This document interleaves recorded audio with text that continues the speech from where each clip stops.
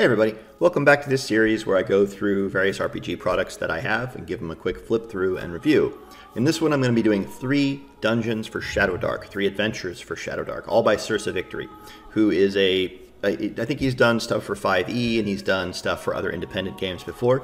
Um, he has a bunch of free dungeons, adventures that you can find um, on. Well, I'll, I'll, link to his uh, link tree below in the introduction in the uh, description, so you can see all of his stuff. But he has great ideas in these. Now, first of all, they're they're they're free, right? So they're worth it, obviously. Um, but even so, leaving that aside, they're great dungeons. They're great adventures, and they have a lot of great ideas for you if you wanted to mimic them or, or use them to make your own, or just you know plunk them right into your campaigns, use them as one shots, whatever. They have a lot of really cool concepts, and he has put a lot of thought into how he builds them. In, in fact, he has a document called the Cyclic Dungeon Generation, um, just called Cyclic Dungeon Generation. And he goes through his theory about how to create dungeons and what you want to do and various sort of models that you can use. And then he goes through a particular example, which is this particular dungeon, Tomb of the Dusk Queen. So I'll show you this adventure, and then I'll show you really briefly his Cyclic Dungeon Generation document, and then I'll go on to the other two adventures by him that I'm going to be covering in this video. So let's go through it. First of all, it says an introductory dungeon delve, but it's designed for level 3 characters.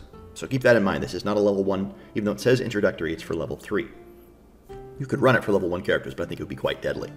Um, there's a danger level, so uh, obviously Shadowdark has three danger levels. Unsafe is the uh, the easiest of the three. This is you check every three rounds.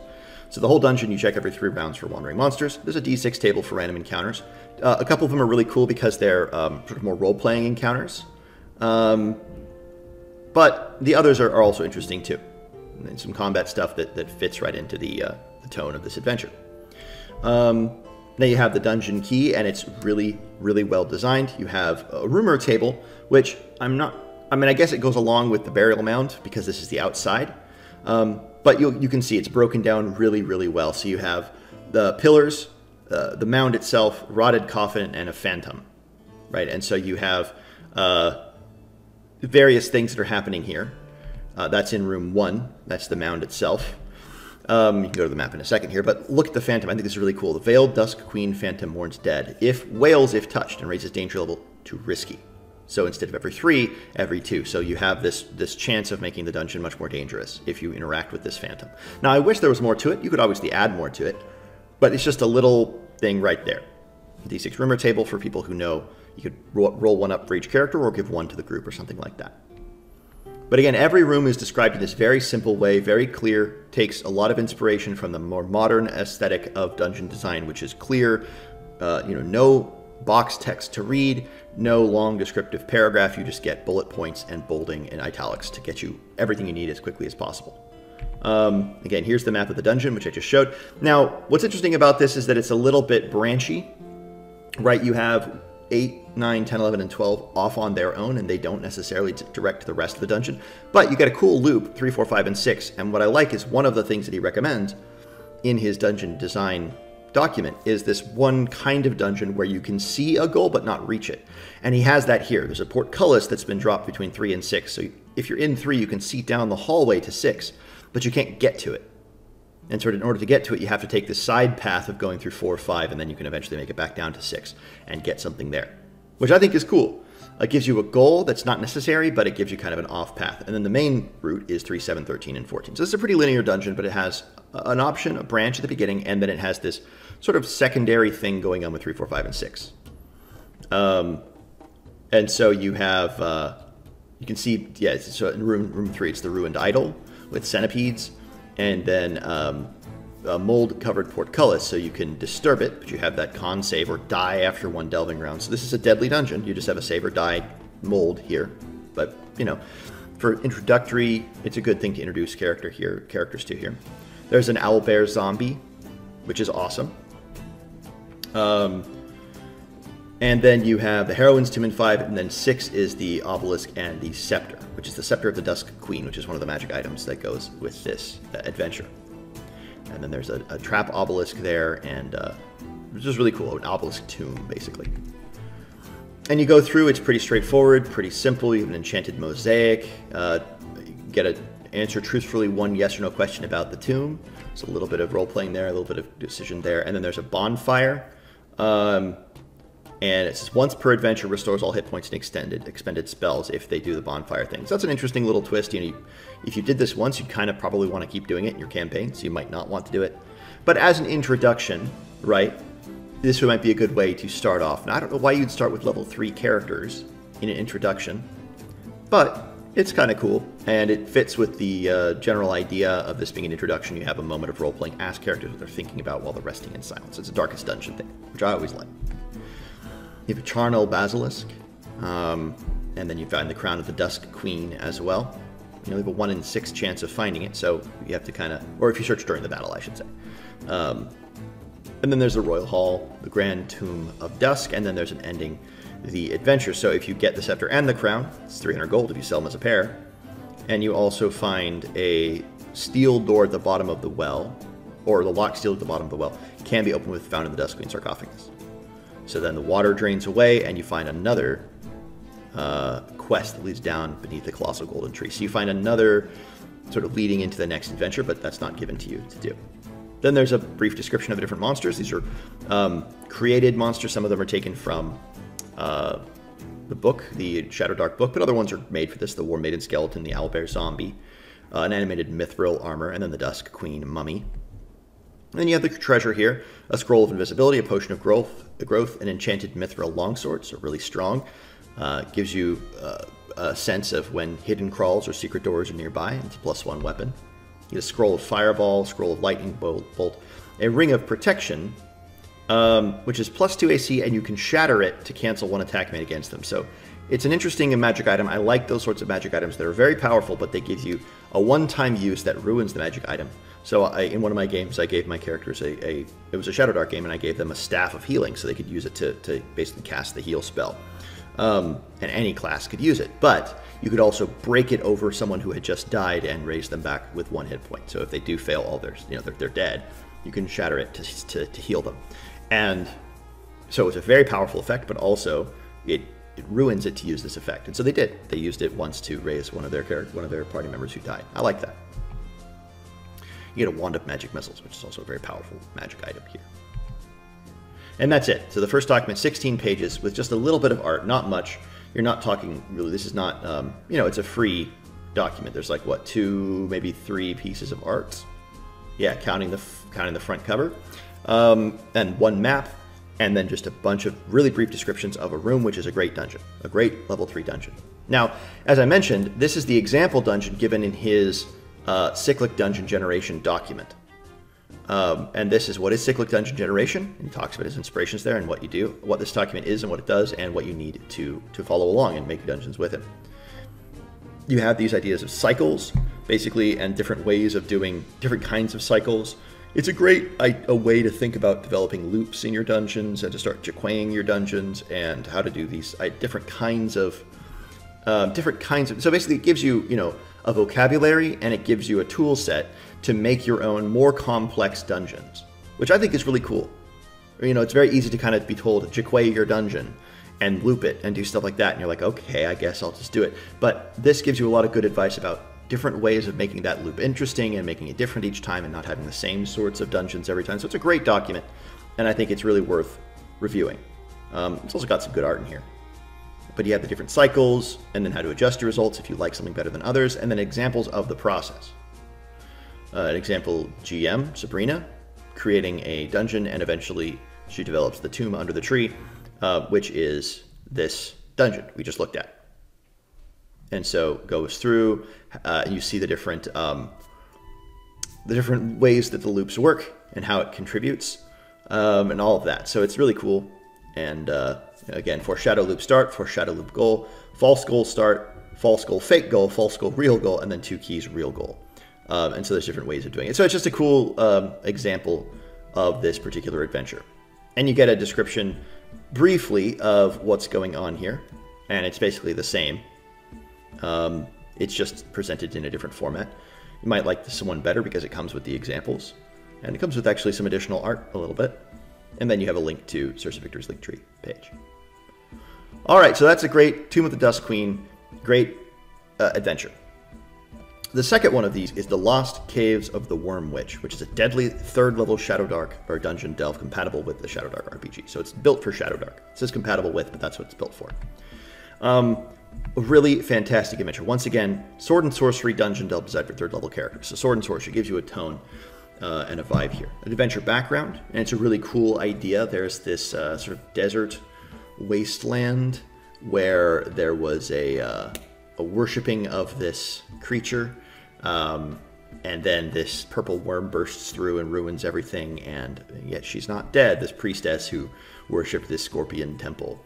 And then there are uh, different parts of this adventure. You have the abandoned temple itself, you have the tunnel settlements, because the, the you're following where the purple worm tunneled through, and so you go through these tunnels that the purple worm has made into the into the earth, and then you find the lost caves, which is the, the, the sanctum of the worm witch. Um, a good D8 table for rumors. And you know, do not tell the characters true or falsity about these rumors. I'm I'm actually less keen on true or false rumors. What I prefer is something more like um, those rumors that are vague and then they can be taken multiple ways. And then maybe if you have more specificity, maybe you have like two or three uh, entries for each rumor. That way, you give each character a rumor, and if you roll the same result, then then the second character gets the more specific rumor or something like that, right? So I like that idea better than true or false rumors. But the, the false rumors just like I get it, like it's good to, to get players the idea that not everything they hear about the dungeon, not every NPC that they talk to is going to be reliable. But if you just start off with characters knowing rumors, then they're going to assume they're important. And if it's just fake, especially one like the colossal it's number six right? The colossal purple worm ghoul will not devour a mortal branded with a scorpion sigil provided they lay down all weapons and remove all armor. Well that's not true. And if a player does that they're just going to get eaten and they're going to feel like you lied to them. So unless they're very yeah like i don't like sort of rumors like that. So anyway rumor table is useful. The true false thing i'm not so keen on. But then there's a really cool mechanic yeah, it's sort of a, you might say gimmick, but I think it's kind of a fun element to this adventure where you find these songbooks throughout. And you roll uh, the song type, the adjective, and then the noun. And then you're supposed to ask people to invent around the table and sing the first lines of the song. And then you go around the table and have people try to rhyme with the first line. And you have everybody do one line. And then when you come to the end of it, based on kind of what the song said, you give them a boon if they find that. So basically, the first time they find it, the first time they find a song book, you roll up the title. You say, "What's the song? What's it like in the book?" And then you develop a a sort of boon that goes along with that song, which I think is great. It's a great idea. Um, I don't think everybody's going to be into it, but I think it's really fun. Now, there's a cursed songbook that can go along with that which makes it uh, it's, it's, the opposite. it's a bad thing, and it's a curse that goes along with the uh, the effect. Um, then you get the abandoned temple itself. This is the first area. It's just eight rooms, but it's a cool area uh, for this dungeon. You get a D4 random encounter table because this area is pretty short. You're probably not going to have that many random encounters here. Um, once again, you have the danger level, how the area is lit, and then the descriptions of the entries. Really, really well formatted once again. Bullet points, bolding, uh, italics.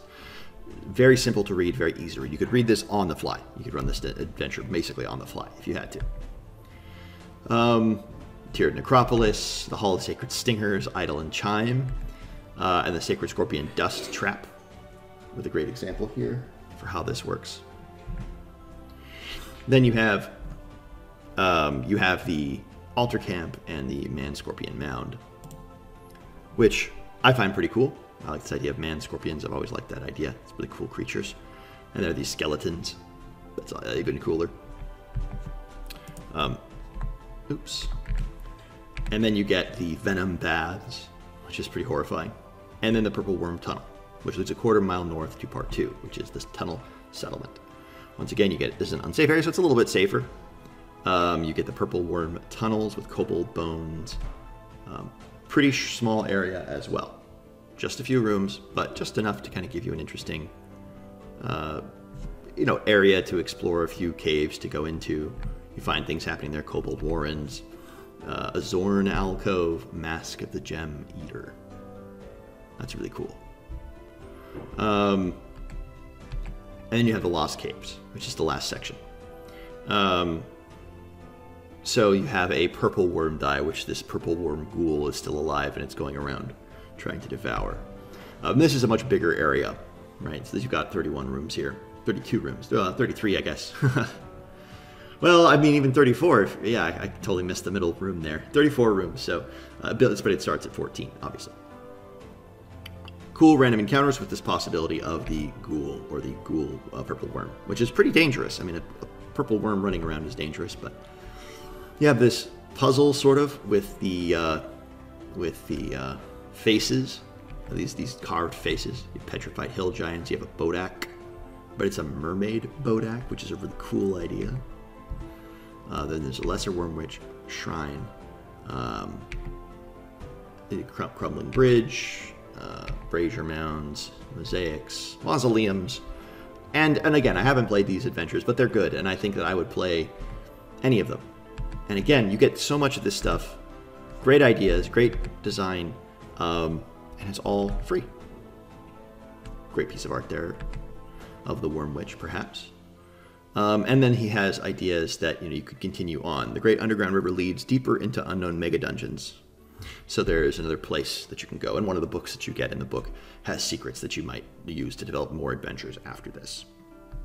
Creatures that you can run into: a woman-sized zombie cleric, a woman scorpion zombie cleric, a man scorpion skeleton, kobolds and blast spores, um, the Bodak mermaid, a giant demon, Fomorian giants, a Behir, a Dracolisk, purple worm ghoul. Like this is definitely not. Um,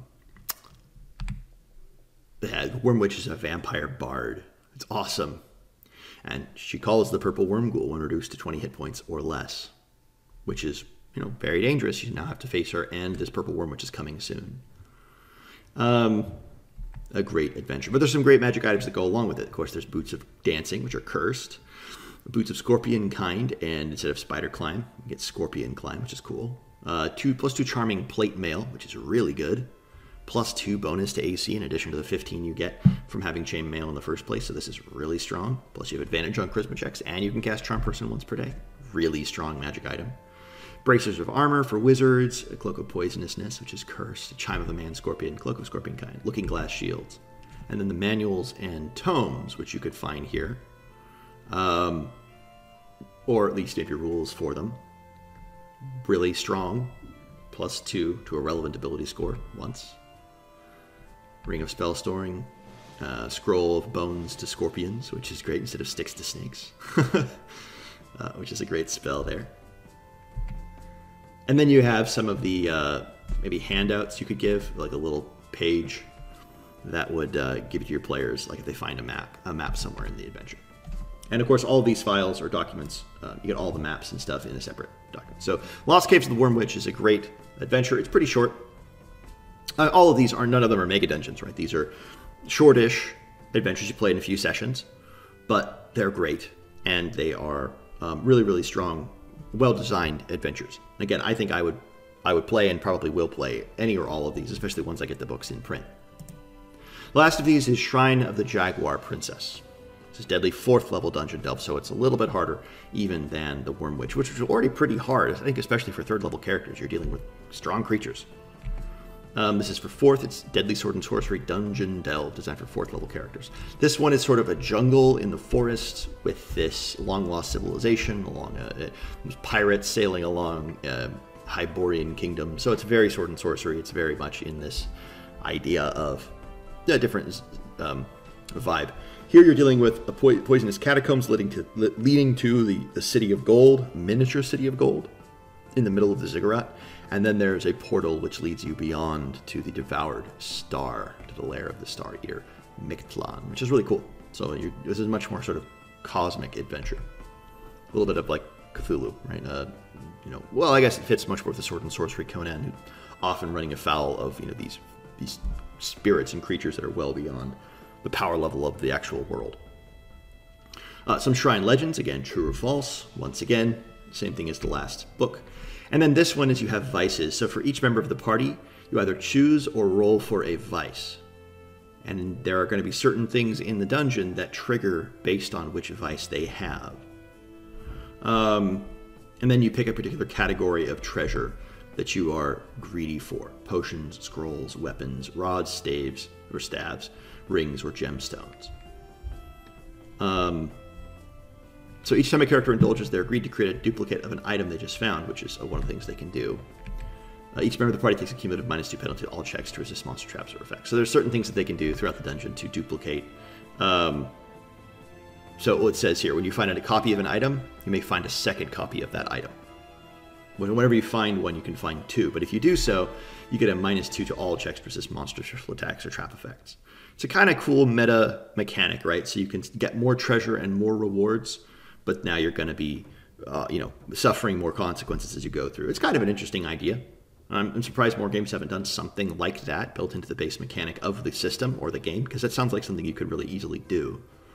Um, high risk, high reward. Um, and it's case by case. So you're like, oh, this is really good. I just found a really good scroll. I'm going to duplicate it. Okay, minus two to everybody. Um, you have a starting adventure and how you start off. The pirate queen who kind of is leading you there. And there are special rules for poison gas and how that works. Um, and you can use them to to do some harmful effect for a character and what you can spend them on. So here's the poisonous catacombs, which is the introduction you fall through into the, uh, the pillared room, the statued room, uh, which is the first level. So the danger level is unsafe, some random encounters, and some poison gas effects. You have a clay warrior gallery. Um, yeah, so go back to the map here. You have uh, some pretty good, again, cyclical dungeon generation here. You can take and go straight down the middle, but obviously there's going to be complications for going straight down the middle. and then you can take either the right or left ways uh, out of this central room, if you can find them. Um, and then you can find uh,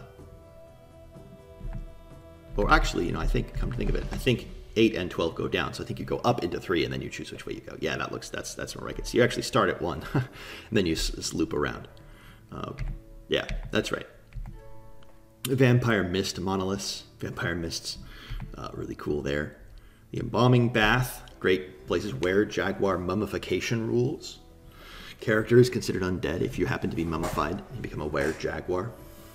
Um, Nahuatl, the Revelator.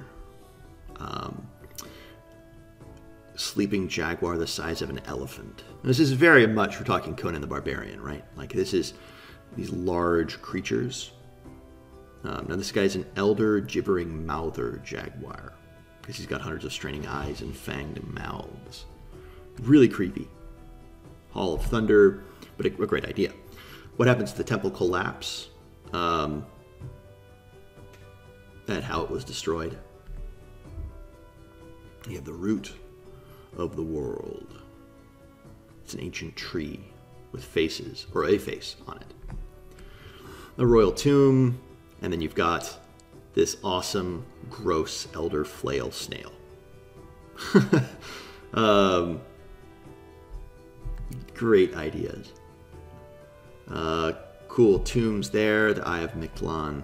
This is just the first level of the dungeon. And then you get to the city itself, the miniature city, which is sort of uh, waist high as you enter. Um, and so it's this big city down below.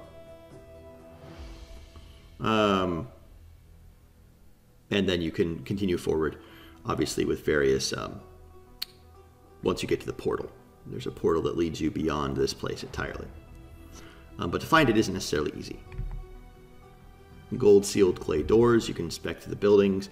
Um, all the miniature buildings aren't actually gold, but they're gold plated, and so you can take the whole city of all of its gold plating, which is 2,500 gold pieces, and you have to roll on the shrine events table when you take the gold and leave.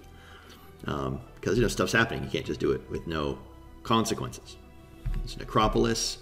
Uh, the priests of gold.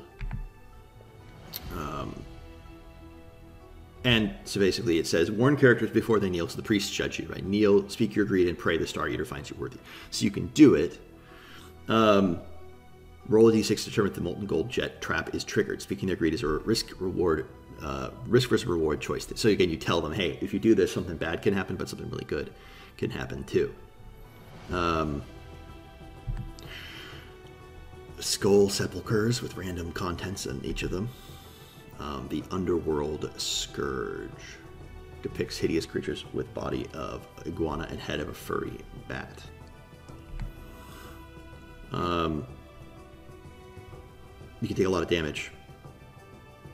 The average damage of 100 d6 is 350 if you prefer not to roll 100 dice, because they can take 300 d6 damage. Um, theoretically. Or 100 d6 damage, excuse me. Which is hilarious. Uh, then you have uh, the Jaguar Princess herself, the Path of Ascension, um, and then the Ebon Disc of First Offering, and then beyond that, you have the Boy Prince Corpse. Beyond that, you have the Devoured Star, which is danger level. Do not check for random encounters, as the Devoured Star is a small isolated rock in an orbit a thousand miles above the Earth. It's a small place, but you step through the portals from the various places, and uh, or from the place you're coming from, and you fight, or you can, uh, Mictlan himself. Um, his ichor drifts through space, we land another planet, reconstitutes his form in 5D 100 years. Um, so you can just go right back. Um, and then there's monsters. Um, really cool creatures.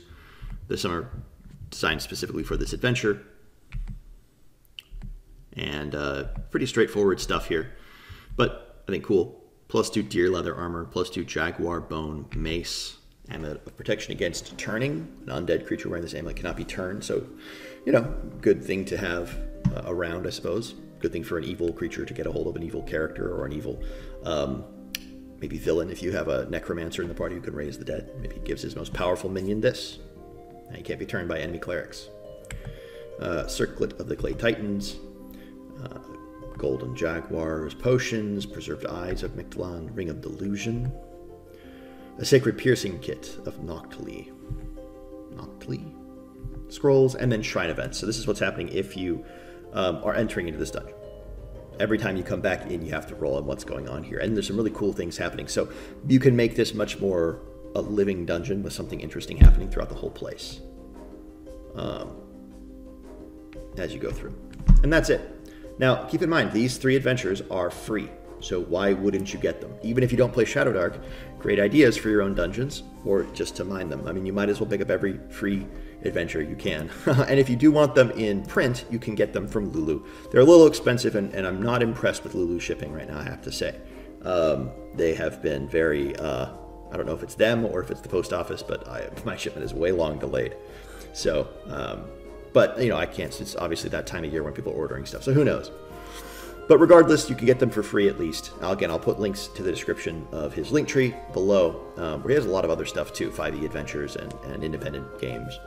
Even I think a browser adventure game where, like, in the style of like old, like, uh, what's that game? Ultima, like Ultima 1 or 2. Um, something like that.